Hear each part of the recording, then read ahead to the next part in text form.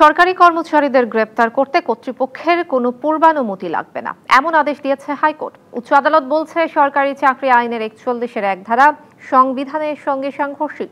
রায়ের কপি হাতে পেলে আপিল করার কথা জানিয়েছে রাষ্ট্রপক্ষ। আদালত পর্যবেক্ষণে বলছে, বিশেষ পক্ষকে সুবিধা দিতে আইনটি করা হয়েছে।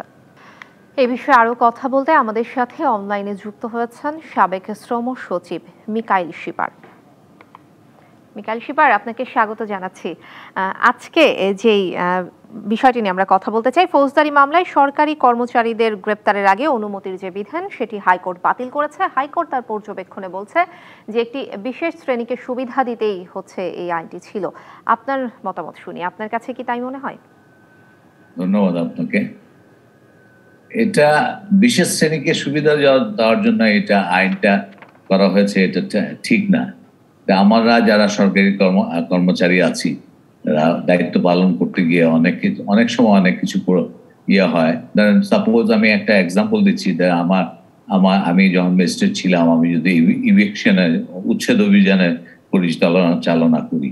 কোনো ক্ষেত্রে যদি কোনো বুলডোজারের কারণে বা অন্য কোনো কারণে যদি কোনো জনসাধারণ ক্ষতিগ্রস্ত হয়ে যান বা অ্যাক্সিডেন্টের কারণে যদি কোনো আহত বা নিহত হন একে এই ইয়েতে যদি আমাকে হুকুমদাতা হিসাবে অ্যারেস্ট করা হয়, তাহলে তো আমি সরকারি কাজ করতে গিয়ে আমি মানে যথাযথভাবে কাজ করতে পারব না। হ্যাঁ অবশ্যই আমি যদি আমার কাউকে খুন করি বা ইয়ে করি, আমার ইয়ের বাইরে, আমার জুরিসডিকশনের বাইরে, আমি সরকারি কাজের বাইরে গিয়ে অন্য কিছু কেস করে কাজ করি যদি বা কোনো অপরাধ করি তো অবশ্যই আমাকে আইনের আওতায় আনতে হবে। কিন্তু আমি সরকারি কাজ করতে গিয়ে আমি কোনো কাজে যদি কোনো অ্যাক্সিডেন্ট হয় বা ব্যত্যয় ঘটে, এখানে আমাকে একটা প্রোটেকশন না দিলে তো আমি অটোমেটিক্যালি আমি সাহস পাবো না বা অটোমেটিক আমার কাজের প্রতি স্পৃহা কমে যাবে।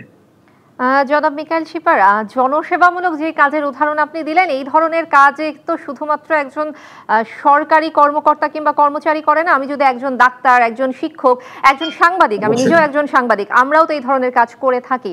তো সেই ক্ষেত্রে আপনার কাছে কি মনে হয় না যে এটি এক ধরনের বৈষম্য? না সবার জন্য একই ধরনের হওয়া উচিত। এটা জনস্বার্থে কাজ করতে গিয়ে আমার প্রোটেকশন সবার জন্য একই ধরনের হওয়া উচিত।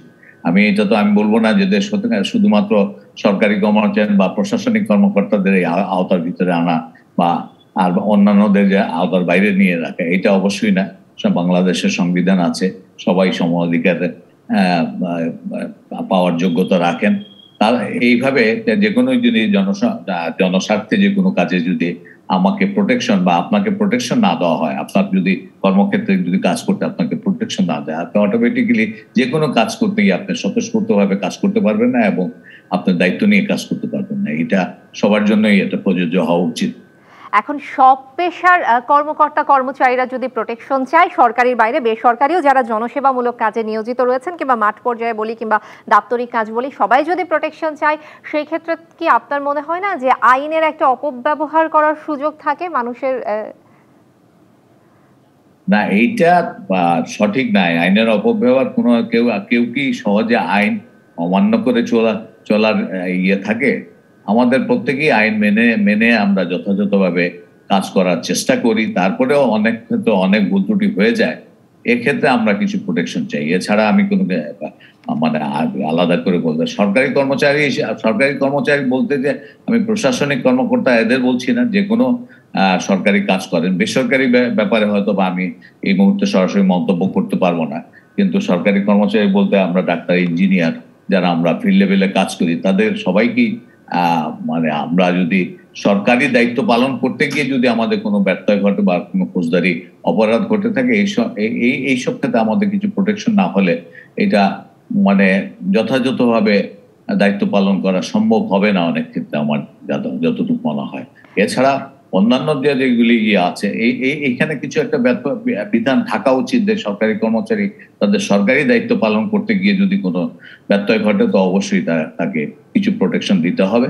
এছাড়া যদি স্বাভাবিক জীবনে যদি কোনো অপরাধ করে থাকি সেটা দায় দায়িত্ব তো আমি নেব এবং আমি, আমাকে আইনের আওতায় অটোমেটিকলি আসতে হবে। এর জন্য কোনো সরকারের পারমিশন চাওয়া বা পারমিশন নেওয়া য- যৌক্তিকতা আছে জনাব মিকাইল শিপার রাষ্ট্রপক্ষ আপিল করার কথা বলছে। তাহলে আপনি কি চান যে আপিল বিভাগে সেই সিদ্ধান্ত পরিবর্তন হোক? কিছুটা না পরিবর্তন না হলে সরকারি কর্মচারীরা তাদের দায়িত্ব পালন করার ক্ষেত্রে যথাযথভাবে আহ, আগ্রহী হবেন না। সেই ক্ষেত্রে তো বেসরকারি কর্মচারীরাও তাদের দায়িত্ব পালনের ক্ষেত্রে আগ্রহী না হতে পারে। একজন চিকিৎসকের কাছ থেকে যদি চিকিৎসা দিতে যে একজন রোগী মারা যান তিনিও তো তাহলে দাবি করতে পারেন। এই ধরনের যে সুবিধার কথা বলা হচ্ছে এই ধরনের সুবিধা তাহলে তিনিও দাবি করতে পারেন। এইটা জিনিসটা কমপ্লিকেটেড সবাই যদি ইয়ে করতে চায় মানে প্রোটেকশন চায়। কিন্তু চিকিৎসা আদালত তার পর্যবেক্ষণে বলেছেন এটা এক ধরনের বৈষম্য। আপনার কাছে কি মনে হয় না এটা এক ধরনের বৈষম্য? শুধুমাত্র একজন সরকারি কর্মকর্তা কর্মচারী কেন? একজন বেসরকারি কর্মকর্তা কিংবা কর্মচারী কিংবা একজন সাধারণ নাগরিকও তো সম্মানিত। এখানে যদি আমরা সম্মানের বিষয়টি যদি নিয়ে আসি, আমরা দায়িত্বের বিষয়টি যদি নিয়ে আসি, একজন সাধারণ যিনি কর্মকর্তা কর্মচারী, একজন সাধারণ যিনি নাগরিক, তিনিও তো সম্মানিত। না, এই- এইখানে কিছু আইনের ইয়ে করা, আইনের স্পেসিফিকেশন দিতে হবে। যেরকম একজন ট্রাক বাস চালক যদি অ্যাক্সিডেন্ট করে, ও যদি নিজের স্বেচ্ছায় অ্যাক্সিডেন্ট করে, একরকম শাস্তি আছে। আর অ্যাক্সিডেন্ট যদি হয়ে থাকে এক্সিডেন্ট হিসাবে এই, এই- এইটার এক- ধরনের শাস্তি আছে। এই ঠিক এই ধরনের আমি ইন্টেনশনালি করলাম কি আনইনটেনশনালি করলাম, এই জিনিসগুলি সেটার জন্য তো আলাদা করে প্রত্যেকটা মামলারই তদন্ত করা হয়। কিন্তু যখন আসলে এই ধরনের সুযোগ সুবিধা দেয়া হচ্ছে তখন কি আপনার মনে হয় না এমনিতেই বাংলাদেশে যে পরিমাণ মামলা প্রক্রিয়াধীন তদন্ত থেকে শুরু করে বিচার নিশ্চিত করা পর্যন্ত যে পরিমাণ মামলা জট আপনার কি মনে হয় না যে এর ফলে আসলে এই মামলা জটগুলো আরও বেশি বৃদ্ধি পায়? না এখন এই এই জায়গাতে আমার প্রশ্ন হচ্ছে যে আমি আমাকে আপনি বললেন, আমি অপরাধ করেছি, ফৌজদারি অপরাধ করেছি, আমাকে নিয়ে গেলেন অ্যারেস্ট করে নিয়ে গেলেন বা আমাকে আটক করলেন। কিন্তু আমি পরবর্তীতে যখন প্রমাণিত হবে, বিচার বিচারের প্রক্রিয়ার পর প্রমাণিত হবে যে এটা আমার ইন্টেনশনাল গিয়ে ছিল না। আমার কাছে এই যে আমাকে গ্রেফতার করে রাখা বা আমাকে সাসপেন্ড করে রাখা, এতে কি সরকার ক্ষতিগ্রস্ত হবে না? যে নিশ্চয়ই। জনাব মিকাইল শিপার আমরা আপনার পর্যালোচনা শুনছিলাম। অসংখ্য ধন্যবাদ আপনাকে আমাদের সাথে যুক্ত হবার জন্য। ধন্যবাদ।